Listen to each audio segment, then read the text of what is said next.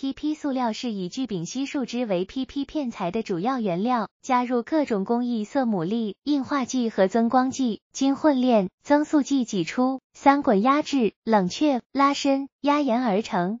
PP 片材具有无毒、无味、卫生、机械强度高、阻隔性好等特点，可用于工业、农业、水果等行业的包装。